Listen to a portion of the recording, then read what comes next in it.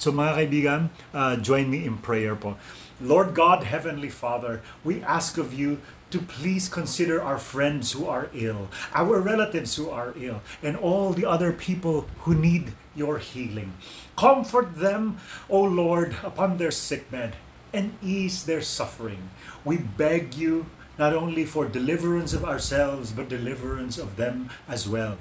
We submit that no healing is too hard for you, O God, because you are the great healer of the universe.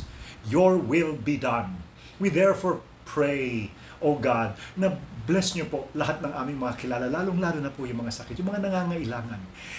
I-renew niyo po ang kanilang lakas, hindi lang po ng katawan, pati na rin po ng kanilang pananampalataya sa inyo. At pagalingin niyo po lahat ng mga ah, sakit at alinlangan na meron sila. This we ask through our Lord and Savior, Jesus Christ, who you gave for the forgiveness of our sins. Thank you po, Lord God. Amen. Hey, my friends, have a fantastic day and don't forget, pray. Make sure that God is in the center of everything you do.